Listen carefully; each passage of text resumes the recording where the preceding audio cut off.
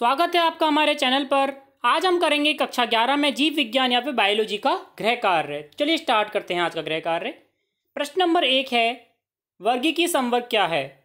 वर्गीकरण एक एकल सोपान प्रक्रम नहीं है, बल्कि इसमें पदानुक्रम सोपान होता है, जिसमें प्रत्येक सोपान पद अथवा वर्ग को प्रदर्शित करता है।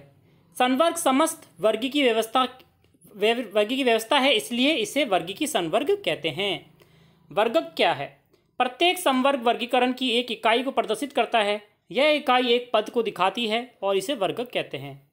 अगला है, वर्ग की पदानुक्रम लिखिए। जैसा कि आप देख सकते हैं, हम आपके लिए ये लेके आए हैं। इसमें आप पूरा देख सकते हैं कि कहाँ से लेके वर्गा, जो वर्ग की पदानुक्रम है, वह जगत से स्टार्ट होके जाति तक जाता है। जगत किंगडम बोलते हैं, फिर संज्ञा, भाग, वर्ग, गुण, कुल, वंश और जाति। अगला है, जाति को परिभाषित करिए। जीवों का वर्ग, जिसमें भौतिक समानता पाई जाती है, उसे जाति कहते हैं। अंतिम प्रश्न है, वर्गीकरण की निम्नतम व उच्चतम इकाई क्या है? निम्नतम इकाई है जाति और उच्चतम इकाई क्या है जगत। तो इस प्रकार था हमारा कक्षा ग्यारह का बायोलॉजी का, आज का गृह कार्य।